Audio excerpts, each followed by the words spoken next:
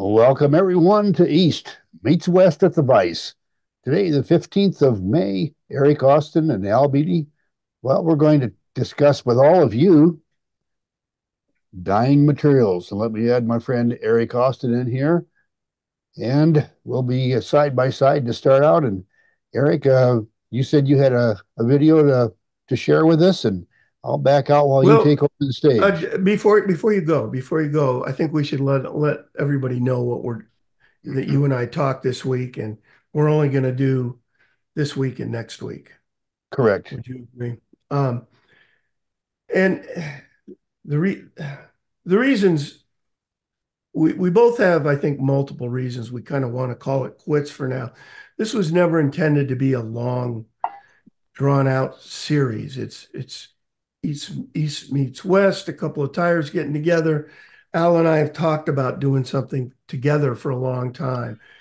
But Al has his uh, obligations, and I've got, you know, I, I've I've religiously um, tried to remain an amateur tyer my entire tying career, and there's been exceptions. Some time, you know, some money I made uh, Fly Tyer magazine and and, and uh, selling some flies here and there. But um, mostly, I've tried to be an amateur because I want to tie what I want to tie when I want to tie it, and uh, it's if if you commit to to um, you know tying a fly live every week, it's a performance, and there's practice involved, just like you practice for any performance. There's a there a bunch of technical stuff you have to do if you want to talk about if you want to put up some historical pictures or whatever. And it's it's a commitment, and it's a commitment that at least for the summer, I don't want to make. Um, I, I have other fish to fry, so to speak. so uh, in any case, Al, I don't know if you want to speak to uh, your, you, you, know, reasons why you might want to hang it up yeah, here next. Yeah, I would like to speak about it just just a bit. I truly enjoy these presentations that we do. Uh, after more than 65 years at the Vice tying commercially, I can I can assure you that I don't hate tying flies but it's no different than if you were a clerk in a grocery store. Uh, going to work probably isn't the one thing you want to do to uh, have a good time. And it's only been since Zoom came into the picture in the last four years we started reaching out and meeting all of you across the digital airwaves that tying once again has become fun until it becomes a drudgery having to prepare for it. And it's, you know, this last week and, and this week I've got four of them. Some some are private when when when we're hired to do presentations for organizations or training for other organizations, and some aren't. And uh, as Ed said, I think it was last week, for every hour on camera, it takes two hours of preparation. It's uh, and not always. Sometimes uh, you're going into a program in which there's almost no preparation, if you ask me to tie a humpy, all I got to do is reach over and grab some hair and some hackle, and I'm in business. On the other hand, if you need, to know about the history of the humpy, then I got to spend time just like all of you looking it up because, quite frankly, even though I've tied them for 60 years, I still, you know, I don't know the history of all of them right off the top of my head. So, anyway, uh, I would hope that at least we'll, on a sporadic basis, uh, do them again come fall or winter but for the summer, like Eric, I'd kind of like to have some time off. And quite frankly, we're focusing a lot of time on our YouTube channel for gardening, Gretchen's Garden and Greenhouse. And that's just another one of the things that we can do together to enjoy each other's company. And fly tying will come back again in the fall. Yeah, and I've got a YouTube channel as well that I've neglected for well over a year. And um and that had to do with cancer and so forth. But but I need to get back to that. Uh, so anyway, we both have our our reasons, but we both really needed to stop at this point. And uh, you know, it's we've we've both had a blast. I mean, it's this has really been fun and it's gotten me going. But I have to say, um, the last couple days I tied a couple flies without a camera over my shoulder, and it was great. Yeah, I mean, nice not to have a was, handle hanging over your head. You know what? Yeah.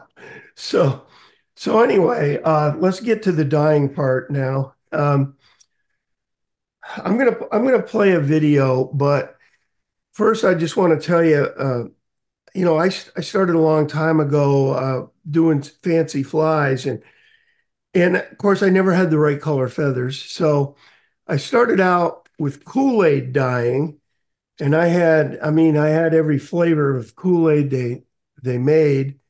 I had packets upon packets, and uh, even even with all of that um, first of all, Kool Aid dyeing I found really wasn't color fast. Number one.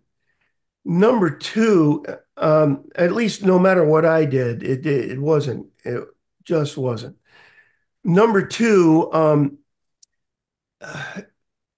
because they only had X amount of flavors, you couldn't you couldn't easily get all the colors that you needed. You, you know, try to get a, a dark claret with with uh, Kool Aid. It's not easy, and you're you're mixing now. The good thing about Kool Aid is it's what you see is what you get to a degree.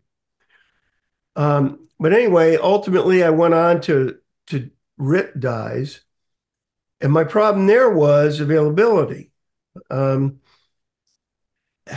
you know, Michaels had some in some colors and not in others, etc.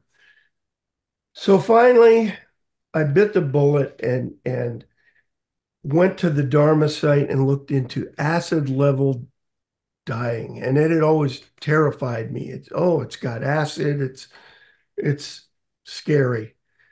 Well, nothing could be further from the truth. It's, it was easier than any of the other dyeing I had done number one, uh, was reasonably safe. The only problem with acid level dyeing is, or acid dyeing as, as if you want to call it that, and, and that's what I'll call it from here on out. The only real problem with it are the fumes that come off your your pot. Don't breathe those in. Um, very hard on your your lungs and your bronchial tubes and I'm an asthmatic anyway, so I'm very sensitive to it. I can't be around it. I really can't. Other than that, you know, um, you have to have a your a, a, a dedicated dye pot, and that's about it. You don't want to be cooking food in it because these dyes are toxic to some degree, but it's a small degree. I've never had any problems. I've never, to be honest, I've never used gloves, though I, I would certainly recommend the use of gloves. Um, I just dye in my street clothes. I've never ruined a shirt. Very easy to do. And I'm going to show a video right now on um, this is it, it's not going to be useful to too many people, but it's it's how to dye an Indian crow substitute. Indian crow has four colors associated in in the in the feather, and this is um, this is how you would dye. This is a more complicated dyeing thing, but it's but it but each dye bath is is individual and they're all the same and it's easily done. And this will this will teach you how to. If you've never dyed with acid leveling dyes, it'll it'll teach you how to do it. So here goes. Let's see if this plays. Um, Al, I can see you pretty well here. Um, just go like this if you can't hear it or something. Okay, yeah. This is an old Revere ware saucepan that I use for all my dyeing. Uh, I only do small batches. I don't do large, you know, necks or entire skins or anything. Um, primarily small batches of feathers, etc. It needs to be stainless steel. Other than that, you can use anything. Just make sure that it's dedicated only to dyeing. These dyes are poisonous and don't breathe in the fumes.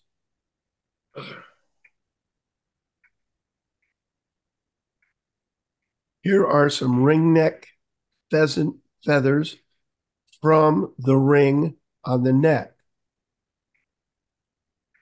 These are a little larger than I'd like. Uh, you want to try to find the smallest ones you can and try not to get ones that have the black tips. There are some that'll have black tips. That black won't dye. And uh, I think in this batch, I actually get a couple of those, but uh, we do what we can. This is a solution of Synthrapol, uh, just a drop in uh, some water.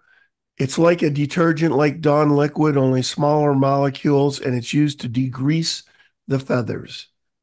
And uh, it's important before you dye them to stick them in the Synthrapol for a while. You know, an hour is good, maybe even longer. Saturate them well with this stuff and try to get them degreased. Too much grease on the feather and it, it won't it won't take the dye well. This is an acid dye from Jacquard that I use, and this will be our base coat, if you will, on these feathers. This is gold ochre. You can use anything that's a tannish, yellowish, brownish uh, dye. This gold ochre works fairly well. With all these all these dyes, it's more of an art than a science. Uh, you've got to really play around to get them where you want them. And unfortunately, it's not a what you see is what you get proposition. The dyes will look different in the dye bath. Here, here's a dye bath I made up with just two, I'm sorry, one eighth teaspoon of the dye yellow ochre dye. And you can see how it looks. And this is about half a pan of water. You can see how it looks brownish, reddish. There's aspects of it that look yellow ochre, but there's parts that don't. Um, anyway, just make a solution with uh, cold water and then do some test feathers and that's very important. This is some citric acid. This is the acid part of the acid dye that we're, we're going to add a little bit of this once this bath gets going and our stuff is in there. We're going to add a little citric acid. It's harmless. Uh, this is from the Ball Corporation that's used for canning, readily available on Amazon. Here I've got my dye bath boiling and you bring it to a boil and then turn it to low or maybe one or two on your stove, uh, very, very low. So it's just simmering a little bit.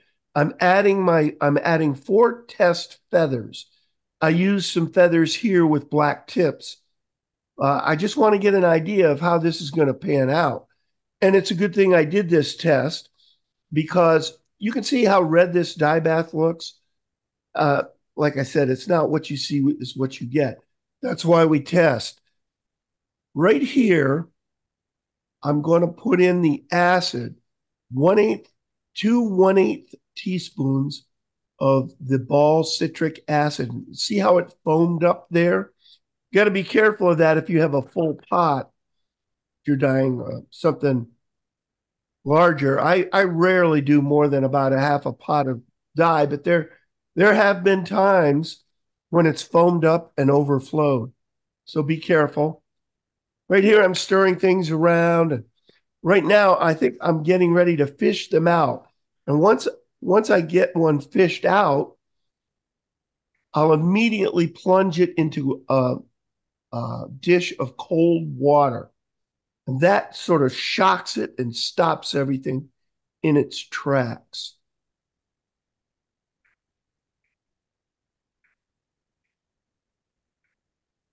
and I got these fished out. Uh, I do a whole process where I dry them off. I do a full blown test, and they were just too reddish when all was said and done. So I decided to make a, new, a different dye bath. And what I did is I, I poured out half of what I had and filled filled up with with just cold water. In other words, I diluted the bath 50% with water. Notice how you can see the bottom of the pan here. And this worked out just about perfectly. I, I got what I wanted from this. Here are the resultant feathers. And uh, that's about what I was shooting for. Happy with that. They could be a little more tan, I suppose. I don't know. Uh, I don't really have any real Indian crow on hand, so it's hard for me to know for sure. These will look fine on a fly. I know that much. This is another acid dye from Dharma. And I, I order both the Jacquard and the Dharma dyes from Dharma, the Dharma website. I'll link to it below. This is fluorescent safety orange. I'm sure you could use other oranges. This one works well for me. I'm very happy with it.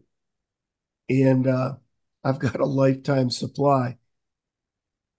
Dharma, Dharma acid dyes are very inexpensive, and you get these big tubs of them, and I'll never use them all. These are my my gizmos that uh, basically prevent the dye from reaching parts of the feathers that I, where I don't want the dye to reach. And uh, they're made from two inch fender washers available at your hardware store. We'll only be using one of these devices today, and we're going to dye up about um, 24 feathers or so using this. Uh, and that's a good number. If you had twice as many, you could use two of these at the same time. Here's those devices, one of those devices disassembled, and this is the one we'll use today, consists of two two inch rubber fender washers, two stainless steel fender washers, a bolt that fits through them snugly, and that's very important, and a wing nut that fits the bolt. So it's very important to get the right kind of bolt. It can't be loose in there, or the dye will seep in there and ruin whatever you're trying to do. Here is the base. I'm getting ready here to put my feathers on this. I've got the feathers soaking in a nearby dish, and I will wet the rubber part of this. Soak it well too. It's just, it makes everything easier to work with if you soak it. Also, it, it performs, uh, I, I think it helps with the seal once you put it all together. You'll see what I mean here in a minute. Here I've laid out all 24 as you can see in a in a circular pattern. I want to dye just the top half of the yellow section of each of these feathers. So just the yellow tips are going to stick out anything inside the fender washer will not receive dye here it's all put together with just the tips sticking out or the top half of the yellow section on each one sticking out. It's a better way to put it because we'll dye the tips later. Be sure to crank this wing nut down with vice grips. Here is the contraption sitting down in the dye bath. I've brought this uh, to a boil. I used one eighth teaspoon of the dye in about a half of uh, a pan of liquid again. You're going to need a way of getting this out, and I use vice grip pliers for that. You could use any kind of any pair of pliers. And you're going to add the acid just as you did before. It's just as we dyed the first uh, group of feathers. It's the same thing exactly. Here is what it looks like when it comes out of the dye bath. The tips now are more orange. They're not yellow anymore. But if you take it apart, you can see that the interior parts of the feathers are still yellow. It's just the tips that have the orange on them now. You can also see that they don't necessarily all stick to one side or the other. So you've, you've got to totally rearrange them. And I soak them before rearranging them and also re-wet the rubber parts. Again, it makes it easier to deal with and it perform makes a better seal, I think. Here they're arranged. So now just the very tips, in other words, the, the half of the orange section is sticking out. Just the very tips, and we're going to dye them scarlet. Here's, here's the scarlet dye. Again, this is a jacquard. Uh, you could use a Dharma dye here, I'm sure it's a matter of preference. Some jacquard colors seem better to me, and some Dharma colors seem better.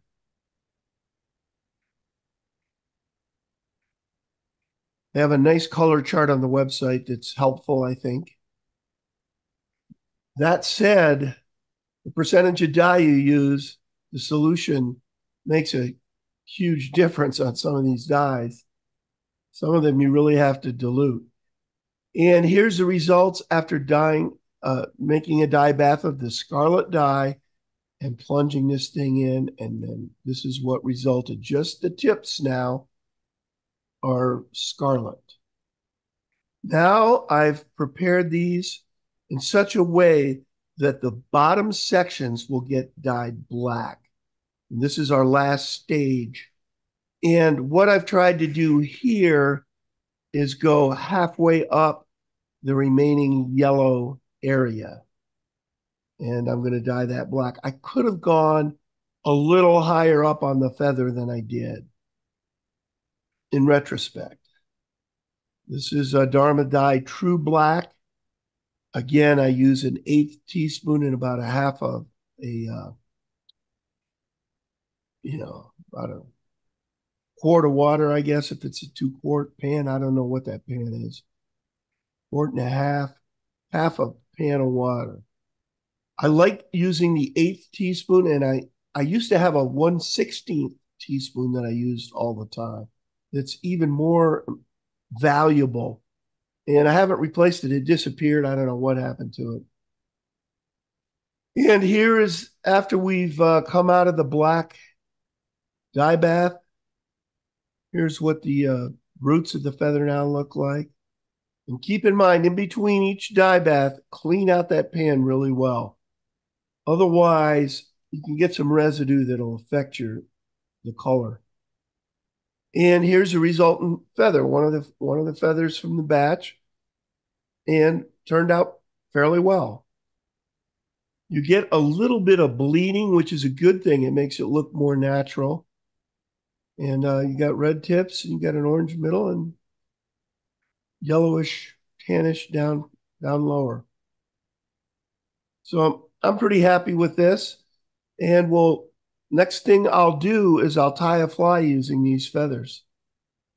Uh, that'll be in another video.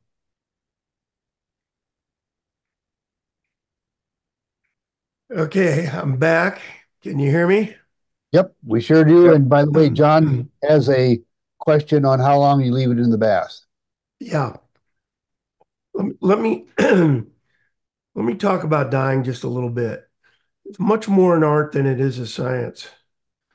Um, how long you leave it in the bath varies dramatically depending on the color. And it's because these dyes are made up with natural materials from all over the place. And th so the way they operate changes from color to color. Um, a good example is um, scarlet. Scarlet, throw some feathers in there, they instantly turn red right now. Um, and and you you you know the the minute you see them take a little bit of color, um, you just do a, a, a little bit of uh, citric acid in there, watch it foam up. Now you know you've got, when it foams like that, it gets in all the nooks and crannies. Um, and then get it out of there because if you leave it in too long, uh, it gets deeper and deeper and it turns brown and all kinds of things can happen. Um, other dyes, um, yellow, um, for instance, you need to use, number one, you need to use a lot more dye and it won't take that color as quickly. The feathers won't take that color as quickly. And it, a lot of times it depends too on the kind of feathers you're using and how well degreased they are and so forth and so on. So it may take it a half an hour um, cooking in there before you can really see any color change. You know, you just kind of check it um, from time to time. It can be up to up to a half an hour. Um, some there there are lots of of variables here. You can't control them all. And what you have to do is just do your best um, and monitor it, uh, you know, pretty consistently the after after they've taken after the feathers have taken just a little bit of color is when I throw in the acid. And there's no time, no specific time there either. It's a feel thing. Um, but you want them, you want them to definitely have taken some color before you put that acid in. Put that acid in, and then it really, um, well, first of all, it fixes the dye so that it stays beautifully. Um, and uh, then after that, though, you may you may want to leave it in the bath for an hour or two, depending on the dye. um, I want to talk quickly about three other dyeing companies. Uh, Veniard has made fly tie. They're British, and they've made fly tying dyes forever. They're acid leveling dyes as well. Um, Dylon, um, available only in the British Isles, I think. Alice Kanba used to use Dylon dyes, and uh, they're available or were available in Canada. Um, but there's a company that I really like here in this in the states um, called Cushing Dyes and they're made to dye wool. That's this, the whole point. And you go to a place like a store called the Woolery online, and they've got um, those dyes, a full range of them, and lots of different colors, and they're they're they're very good dyes. So I I, I highly re recommend the Cushing ones. The other ones are kind of hard to obtain. Um, Veniard's available. Um, uh, let's see, anything else I need to say about dyeing? Oh, here's a trick. You'll find that dyeing black is very difficult. What happens is you're dyeing some feathers black, and sure enough, it looks like they turn black, and you get them out of there, and they've got a purple sheen to them. So I asked John McLean about this, and, and what he suggested, and it works, is you dye the feathers fluorescent orange first, and then you dye them black. And sure enough, then it comes out black. So any any uh any other questions, uh comments, suggestions? I'm open to it all. Don also wanted to know about bleaching before dyeing.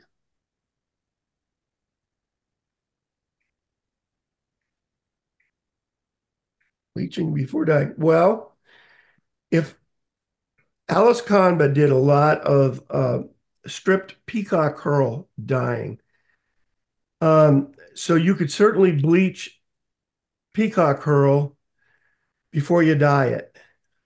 Um, bleaching feathers does not work. I'm here to tell you. The thing that holds the, the, the feathers together go away and dissolve, and the whole feather just goes like this because I tried it with some uh, turkey tail feathers. Um, so you got you got to be careful about bleaching. Hope, hope that answered that. And by the way, don't do anything with dyes and unless you do a, a, a test, a little test batch, a feather or two, feathers that you know are crappy ones that you pulled off the neck. I, I always I always get some some bad feathers that I'm not going to use for testing, and and do a full blown test. Put it in your dye bath. Put the put the acid in. Take it out. Shock it with the cold water. Um, dry it off because as you dry the feathers, they become lighter. Um, you may think you have the perfect color, and you dry them off, and now they're lighter than what you wanted. So there's a lot of playing around.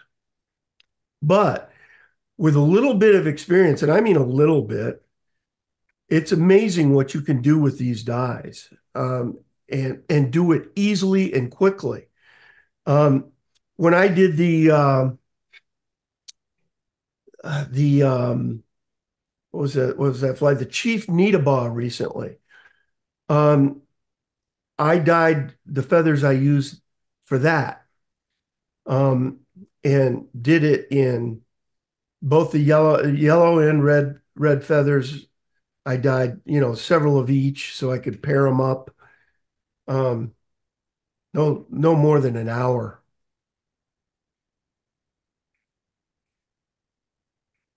Okay, uh, Sherry Steele wants to know if you have the process written up anyplace. Um, no, but that, but Sherry, the um, Indian Crow video that you just watched is on YouTube. It's if you just type in Eric Austin Indian Crow, I think it'll come right up. Um, let me let me do. I'm gonna. I'll I'll go do that right now and and make sure it comes up. But I but I think it will. Uh, hang on.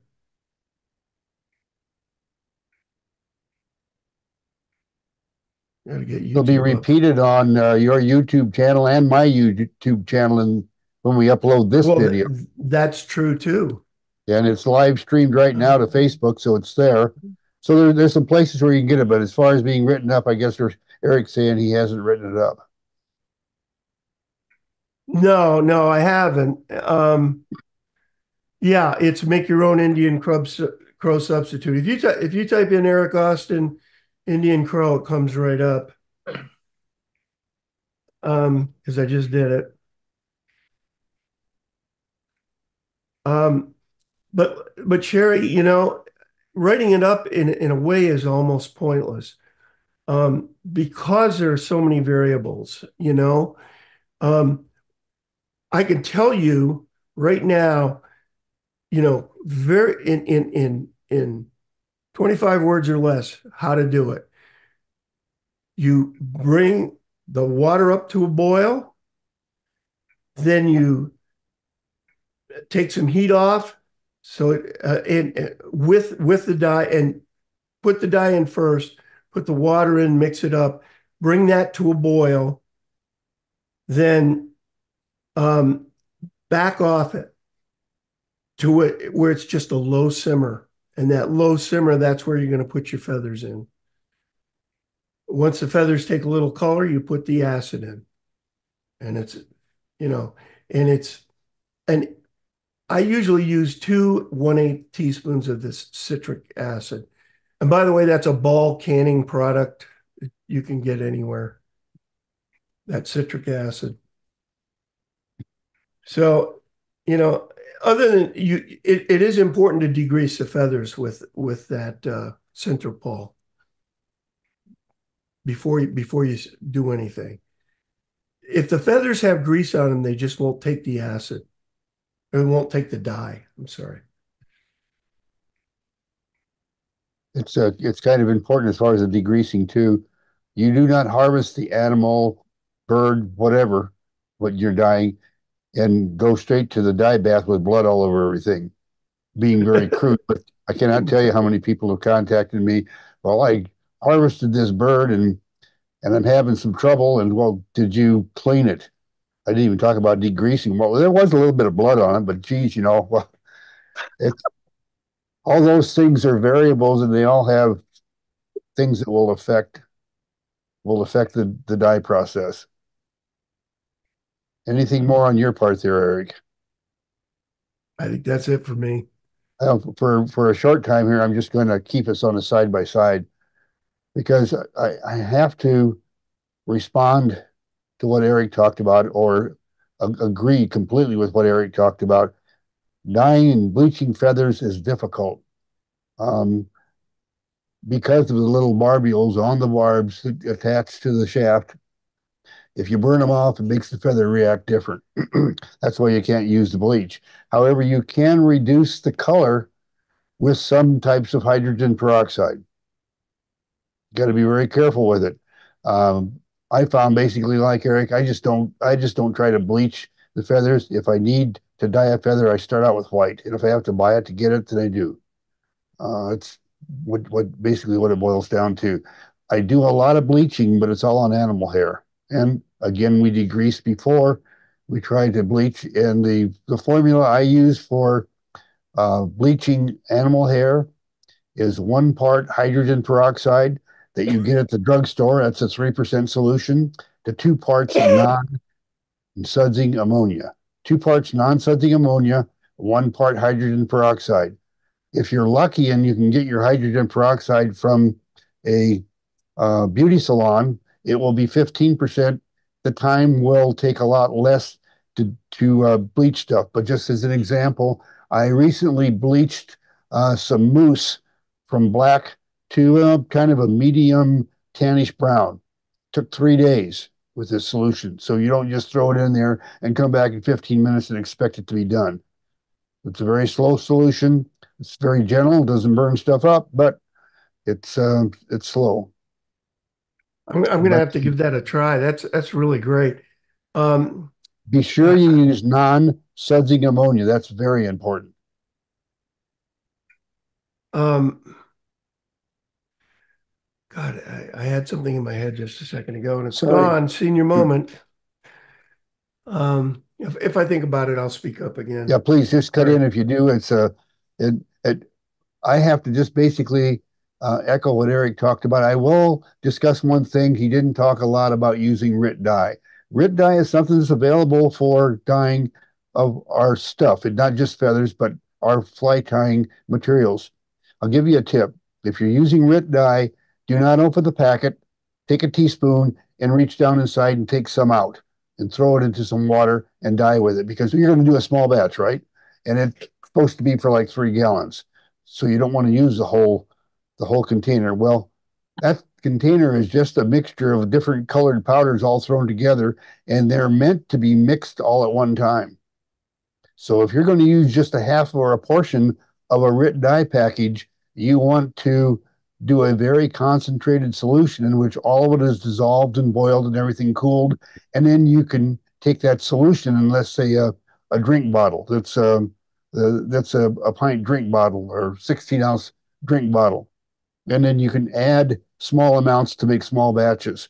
But if you try to just reach in with that teaspoon and get some of the powder, you'll be surprised at the colors you get because it's. I, I wanted to talk a little bit about um, mixing dyes. This is acid leveling. It's not RIT, although you can mix RIT too. I've done it, um, especially the liquid RIT dyes, which I don't know are I don't think are as good as the powder. That's just kind of an observation. But anyway, um,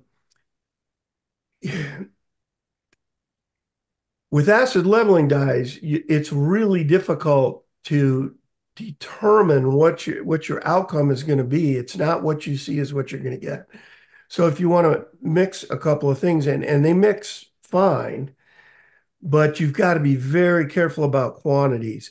If you put just a little bit too much of the darker one. Let's say you're mixing, uh, for the sake of argument, a dark purple with an orange to get a brown or something. Um, you got to be very careful about that dark one. Don't use very use hardly any of it, you know, and uh, and then do a test and see how it comes out. Um, and you can, if if if your materials aren't pure white, you can still work with them. Like if they're tan, let's say, or if they're light gray, you can still maybe get a red out of them, for instance. Um, just not bleaching, not doing anything. As long as the color that you're dyeing is darker, that you're over dyeing is darker than the the the color underneath, um, you'll you'll probably get a, a result. I've done it, um, for instance, with um, goose biots. Um, I had a I had a, a goose skin, and I, I took some biots and I was able to dye them rusty brown, which is what I wanted. I wanted rusty brown goose biots. Was able to over dye them, even though they weren't white, they were gray. So um, it's just whatever you're over dyeing. It, it, you can't make something. You can't take black and make it white. You know, you just can't do it. You can't go from dark to light. You got to go the other way. And you also can't take a color like tan and say, well, I'm just going to, I'll make brown out of that. It, brown's darker. And you take a, a tan feather and, and throw it in the brown and catch as catch can is what you're going to get. Uh, it will be very different than if you throw a white feather, a white feather and a tan feather and throw them both in the same dye bath. You get two different colors out. Yeah, it's very true, and you have to use a lot of common sense. But if you if you've worked with colors in any capacity in the past, mixing colors to achieve a, a goal, you you can figure it out. Um, and and some sometimes it's not in the cards. I I there's a couple colors I struggle dying. Um, um, tan being one. Uh, first of all, the tans that you buy in the acid leveling dyes aren't aren't great to begin with, and so you're left with trying to mix a yellow and a you know something else. And I eventually get there, but it's a lot of playing to get certain colors. Olive, by the way, olive. I um, it's the Jacquard olive is not olive at all. At least not the not the batch I got. It's brown. Um, and uh, so you know, one one one jar of identical Jacquard dye will differ from the next. Different batches, dye batches will differ. So, you know, it's it's like I said, it's more art than science. It's um, it definitely is, and I'm I'm just going to point you at Eric for him giving you a really great um, dissertation on dyeing yourself. Um, I'm an expert dyer, but I didn't get to be that way out as an average fly tyer in all the years I spent at the vise. I got to be that way at Whiting Farms. And what I know is proprietary information. So uh, for the biggest part, I'll just tell you, keep your temperatures consistent. Uh, use acid to set it, and acetic acid is the best one the, from the canning store. Eric's already told you about that. Whiting Farms use the same thing. That's not taking anything away from uh, or away from uh, the proprietary information that I have from them. So the acetic acid is nothing more than uh, the ball canning stuff or something similar. You could also get it in other things. But I have two things today that I want to talk to you about. You've already heard about one bleaching. Okay, one part hydrogen peroxide, two parts non-sudsing ammonia. Non-sudsing ammonia. That's very important. You'll get a terrible mess if you go the other way. Non-sudsing ammonia, hydrogen peroxide. And tell you, just give you a tip, one of the things that bleach is gorgeous, it just is so pretty, it makes your heart sing, is you take the church window feathers off of a ringneck pheasant. Imagine those toned down a little bit so that they're tan and white with all the all the markings on them. I'll leave it to you to do other stuff with. Just remember that the bleach formula is a formula that takes time. You don't set it in there and come back in 10 minutes. You even the bleaching of the church window feathers, you're going to spend 12 hours at least to get to see what you want as far as the changes. Now here's the next thing, and it's probably the most important thing that I have to offer is dyeing. Okay, there is no, I'll, I'll make this statement and probably everybody will disagree with me. There is no dye out there that does a good job of taking mallard flank and turning it into a substitute for wood duck, except for the skins off of yellow onions. Really? You dye with the skins from yellow onions over mallard flank, and you'll come as close to a perfect substitute as you'll ever get. So, how do you do that? Well, for Gretchen and I, we usually do a few mallard flank feathers at a time. And it's been a while because, quite frankly, we have a huge supply of wood duck.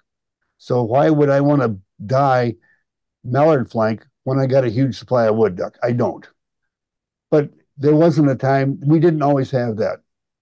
And what we would do is we'd go out and buy five uh, pounds of, of good uh, yellow onions, making sure that the skins on the onion are in pretty much intact, not all beat up.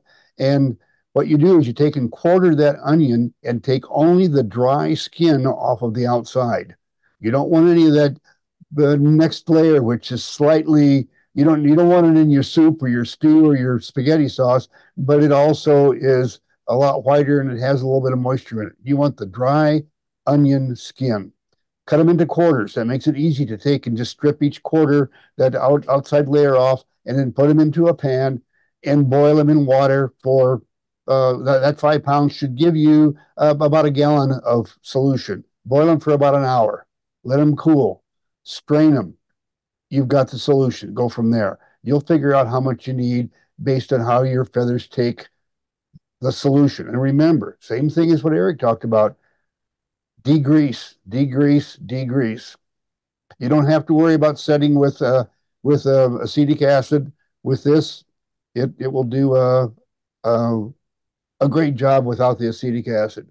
There are other things that you can use. The tea you drink in the evening uh, or I drink in the evening. If you're a person from the UK, you drink tea all day long. But anyway, that tea can make some really interesting colors in, in feathers. But the only one I'm going to talk with any certainty about is yellow onion skins for dyeing uh, mallard to uh, to wood duck. And I'll take questions from anybody, but I, have a comment about about the the mallard too. uh, I, I think it's important if you're gonna if you're gonna imitate wood duck with mallard, just to make sure you got the right shape feathers. A lot of mallard tends to be a little more pointy than when when you want it more flat on top. So you gotta you gotta really select these feathers out is all I'm saying. Uh, carefully. I like I like the flattish top the place where and Eric's right for the normal wing type stuff that you do.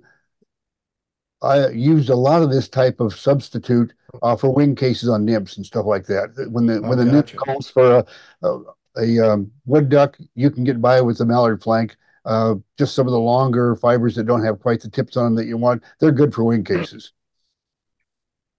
Sure. But any questions, or we can now just get out, drop our spotlights and we can just get down to the discussion forum. Remove and remove spotlight. And if we're not on a gallery view, you may want to get to a gallery view. And there we are, all of us still here and ready to chat with whatever you want to chat about. Sherry, um, are are you are you at all comfortable with the idea of acid level dying? Or, well, I have to. Would you like me to send you? I, I mean, I can send some. I can put some instructions together and send them to you. Well, I would watch the video and then write it up. uh, because I follow directions, you know, like a recipe. I'm kind of do recipes. Well, this is one time you don't want to do that, to be honest. Well, Uh, it's just- step one, just- step two, step Yeah. three. Right. Uh, And, and there are distinct steps, certainly. And uh, all you'd have to watch is the beginning part of the video. It, it you know, the first, the yeah. where I yeah. dye it, thing yellow or tannish yellow, whatever it is. Well, I do have a question on dyeing synthetics. Um, That I, I've, done I that? have not done. So Okay. I'm, I don't know. Have you, have you dyed synthetics, Al? Uh, prepare to be disappointed. Uh, I'll give you an example. I would just absolutely love to take some of this clear Antron that we've got here that we do on some of the LaFontaine patterns and be able Uh-huh. to dye it. Don't waste your time. All you're going to do is have it rub off on your hands when you're tying the fly on your leader in the river. it just it doesn't happen. I don't know how they get it done. I've even tried a pressure cooker. I mean, I got that. If, if you want to see a mess, use a pressure cooker with Antron. What a mess! Jesus Christ! Just don't do it. well, I, I did, um, uh, Blue Ribbon Flies used to make the perfect color Zelon that I use for my soft tackles at the underwing. And they kept not getting the dye correct. And uh, so uh, the package that I buy, I dunk it in bleach to remove some of the color, and I'm able to get closer to what I'm looking for. And but I just wonder if I should try getting white and then coloring it up, or keep bleaching the ones that I need. Just You so know, you know, acid level only, acid leveling dyes only work with, um, natural products, if you will. Um, Uh-huh. Uh, they they won't work with synth synthetics at all. There are dyes for synthetics for certain synthetics, but I think they're I think it's pretty involved, and there you could probably find those on the Dharma site, D H A R M A. Yeah. That's where I buy all my dyes, and uh, well, that's where I buy the acid, the the Jacquard and the Dharma dyes is buy from that site. And that site also has different kinds of dyes for doing different things. So you, you might look at that. Okay. Right now, I just dump it in regular old bleach that you would bleach Well. anything with. Got to do what you got to do. Yeah, it, it, it gives me a little bit more closer to the color, but it's not exactly what I'm looking for. And I'm I gonna assume run what out. you're putting in the bleach, Sherry, is not feathers, right? No, it's it's a Zelon. Zealand. Okay, got it. Okay, no problem. It's uh crinkled Zelon. Got it. And and I need this color, but lighter. And so, Uh, try the uh, bleach, the method that I just told you with the one part hydrogen peroxide and two Okay. parts. You may have to leave it in for a few days. Mm, mm. I guarantee you, it's not going to bleach so fast that you don't know how it got to be white so quick because that that won't happen. okay. But it'd I'll, I'll pile on what, uh, what, I'm sorry, go ahead. No, I was just going to say, let me know, uh, try a piece of it, Sherry, and then let me know the result because I'll keep track of it so that we, if the question comes up. Okay, Mike, go ahead. I'm sorry. Um, I'll kind of pile on with what, uh, Eric was talking about, but in a different way. I did dye, uh, some mallard, uh, using the onion skins and it did turn out pretty nice. Uh, I did not select my feathers. And so I've got some that are beautiful and some that are like oval, oval shaped, you know, oblong. Um, what I really like to use that for, uh, there's like when I use wood duck for tails, legs, and like they said, wing cases. Um, you don't want to eat up your, especially as expensive as wood duck is nowadays. You don't want to eat up your beautiful wood duck to make tails and, and legs. You don't really have to. Um, Tim Flagler has a uh, wood duck nymph. The tail is wood duck. The body is actually wrapped like a like a pheasant tail nymph with uh, wood duck. And then, of course, I think it has a wire rib. The wing case is wood duck, and then the legs are wood duck. And uh, it's a really cool looking fly with a lot of fine dark markings that uh, the natural um, mayfly nymphs have. Uh, so it's a really cool fly, but it it could really get expensive when you're doing something like that with the real thing. So with those uh, dyed mallard um, feathers that aren't maybe the the best ones for making wings, you could definitely do uh, something like that. Oh,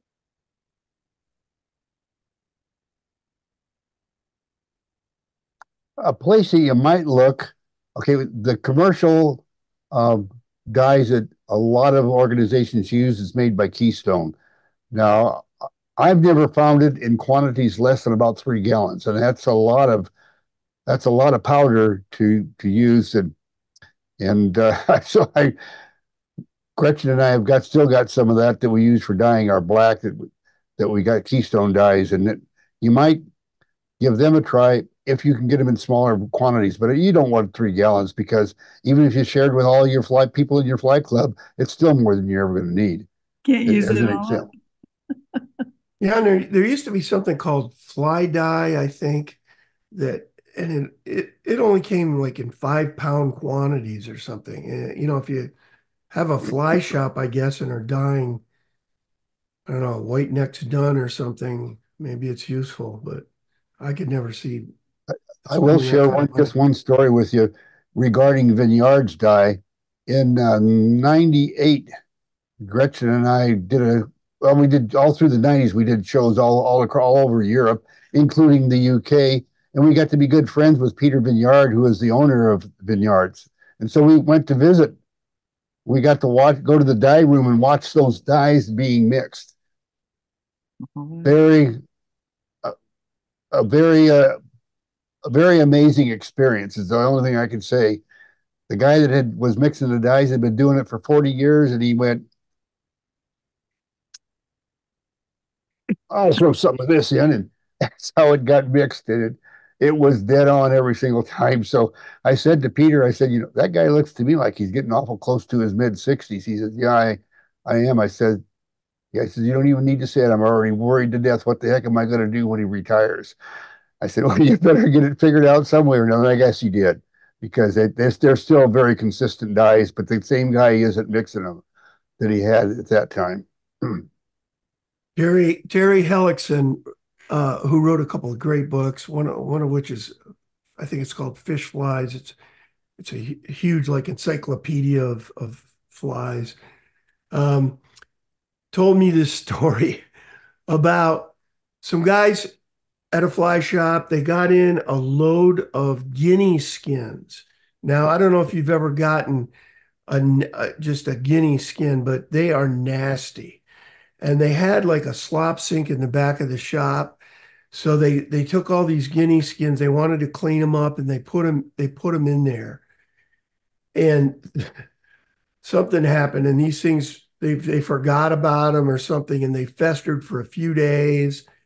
And so they somebody walked back there, and the smell was just overpowering. So they immediately drained the drained the water well, that was a mistake uh, because it, it got into the sewers and formed sewer gas, and there was an explosion. they had to close down the entire strip mall where, where this where the fly shop was. Oh man! So yeah, you got to be careful. back in the 80s when I first met Frank Johnson, who many of you knew before he passed away, uh, but he was a professional in the industry for all of his life. He was in in the fly. And anyway, at the time I met him, uh, uh, he had a fly shop in Missoula, and so I was I was needing feathers, uh, fly tying the hackle. So we would buy the stuff from India, and it would come in these 30 gallon drums and it was packed in this white powder that would kill you from 30 feet. I mean, if you got even 30 feet away from it, it'd kill you. I don't know what the stuff was, but it was bad. We would wear masks and gloves and everything, and it still you'd cough for for months after unpacking one of those things. I don't know what they were, but we'd wash them all then and get them ready to go into his store, and I'd get my cut of the of the capes, and the rest of them went to his store. But it was amazing what we went through back in the day until places like Whiting Farms and all the others have changed all that for us. And an interesting thing happened. There's a uh, a store just opened here in Bozeman or in Boise called Scheels, and I know they have them there in Mike Kelly's country, and uh, they're starting to show up around the country. Well, anyway, we went out there, and their, their fly tying section is pathetic, is a good way to put it. And it's the first time I've seen an India cape for sale on the wall was in Scheels just just this last week. I didn't even know you could buy India capes anymore, but I guess they're still available. yeah, I, I, got something. Um, many years ago, I was looking for you know a really good dun cape, and they were hard to come by. A long time ago, and um, I looked and looked, and finally I talked to this tyer. He was lived up in uh, New York. Uh, Eric might know him, Del Mesa. Really good oh, fly yeah. tyer. I know I know that name. Yeah. Yes. And he told me you buy white hen necks and white rooster necks, and you take Lady Clairol. I forgot the number, but it said something about black and white on the dye. And I'll tell you, my buddy and I, we didn't know what we were doing, but we came up with some beautiful dun colored necks. Well, I've always wondered about hair dyes. Yeah, lady, No, it's Lady it's- Clairol. I, I've got to find out that number again. But back then, you could get the white because, like Al said, Whiting is what he's done with all the everything. You can just buy this stuff. But back then, it was tough to get a good dun cake. It was, it's tough to get a, any any kind of decent hackle back in the '60s and '70s. Yeah, the, Yeah. the sourcing of materials is I, I one of the people that we Gretchen and I were, involved with from early on, and I was involved in even before Gretchen and I got married was Steve Knurk at Rocky Mountain Dubbing, and he's the person that supplies to the places like Wapsi that then supplies it out to the rest of the world. I mean, he was the importer, and I asked him one day because I would always go to Lander, Wyoming, and select my calf tails because I'd get about oh 500 calf tails a year, and I'm making sure they were all nice and straight. And you don't always fall, find nice straight ones in the fly shops. Anyway, so I ask you, where do you get these things? God, I. He says, "Oh, I have to go to Uzbekistan to get them." Could, do you ever have any idea that the that the calf tails were coming from Uzbekistan or whatever how you pronounce that? I was just stunned. I mean, anyway, it's a Funny. Interesting. Anyway, uh, getting to calf tails, back before I found him as a source where I could get some really good ones, I tried everything under the sun to get good straight calf tail for tying Royal Wulffs and all that kind of junk, even to the point of getting hair straightening from the from the uh, uh, beauty supply house, and it works. But Jesus criminy, it takes a two dollar uh, tail and turns it into a twenty dollar tail, and you can hardly afford to tie with the darn thing after you get it all straightened out. Mm-hmm. Anyway, just the crazy stuff that you do over the years until somebody finds out that Uzbekistan is a great place to get calf tails. Well, I seems like everybody's winding down, or if I mention Uzbekistan, it scared everybody into the next county. So one of the two. So if there's nothing else, This was a good one. Good. I'm glad it uh, worked out for you. The fun, the, the tool one should be fun next week. I'm going to share a part of history with you when when it comes to my part for the tools. I mean, I've got I've got tools here that, like everybody, a special whip finisher made by a friend uh, who is only one of a kind, and some of that kind of stuff. But we're going to talk about rotary tying with a treadle sewing machine. Oh, it's gonna be fun. But we ain't gonna do it because I can't. I can't do it. Gretchen's the only one in this household that can do it, and uh, it's not as easy as it used to be. All I can tell you is that. But Oh, anyhow, Will it still be Wednesday?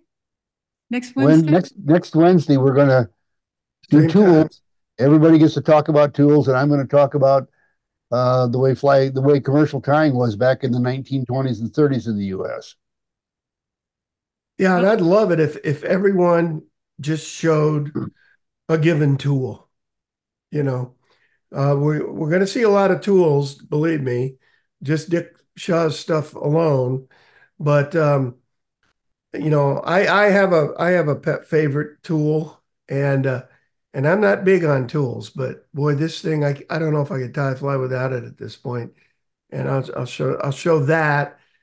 Um, other tyers are not as enthused as I am about this tool, but I I lean on it constantly. So I'll show that next week and a bunch of Dick stuff. Oh, Dave Buckner, be sure you bring uh, the ones you shared with us the other day for painting eyes on flies. Yes. Yeah. Well That's done. the ones that I showed. I can tell you, it's a lot, a lot cleaner looking. Mine was pretty, pretty rugged by by comparison. That's it for this week, folks. Thank you so much for joining us. For now, it's a wrap. Until next time.